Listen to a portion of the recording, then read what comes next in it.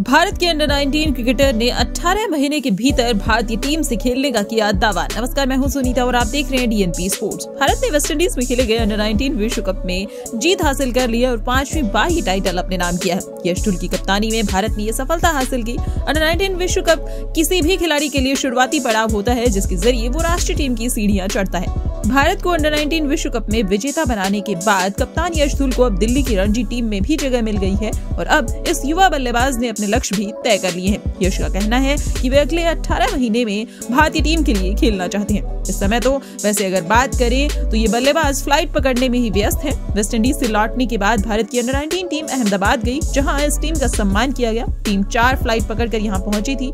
इस दौरान वे सिर्फ़ 30 मिनट ही अपने माता पिता से मिल पाए। दिल्ली में आने के बाद वे सीधे बाल भवन गए, जहाँ उन लोगों से मिले जिनकी वजह से वो यहाँ तक पहुँचे। इसके दो घंटे बाद ही उन्हें गुवाहाटी की फ़्लाइट पकड़नी थी, जहाँ उन्हें दिल्ली की रणजी टीम से जुड़ना है। भारत को जूनियर विश्व कप विजेता बनाने के बाद यश को अच्छे से सोने का मौका भी नहीं मिला है, लेकिन यश को इससे कोई शिकायत नहीं है, क्योंकि वे जानते हैं कि एक पेशेवर क्रिकेटर के तौर पर ये शुरुआत पर है।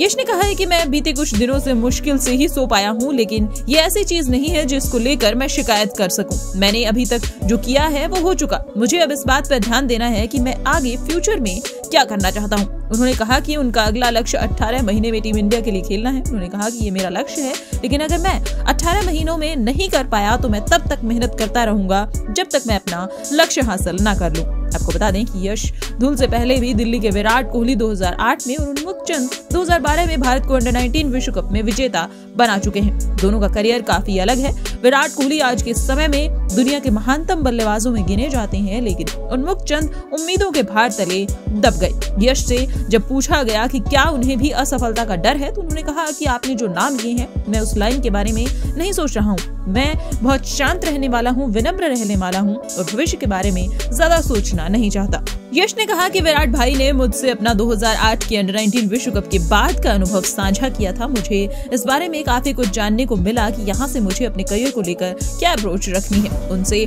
बात करने में मुझे ये जानने को मिला कि मुझे आगे जाने के लिए किन बातों पर ध्यान देना है और किन चीज़ों को नजरअंदाज करना है। तो दोस्तों, ये थे यश धुल, जो कह रहे हैं कि मुझे 18 महीने के अंदर टीम इंडिया को रिप्रेजेंट करना है, लेकिन अगर वो ऐसा नहीं कर पाते हैं तो वे तब तक मेहनत करते रहेंगे, जब तक वे इस लक्ष्य को हासिल न कर ले। खैर, यश ढुल के इस जज्बे को लेकर आपका क्या कहना है? हमें कमेंट सेक्शन में ज़रूर बताइएगा। और स्पोर्ट्स से जुड़ी हुई ऐसे ही तमाम अपडेट्स के लिए देखते रहिए डीएनपी स्पोर्ट्स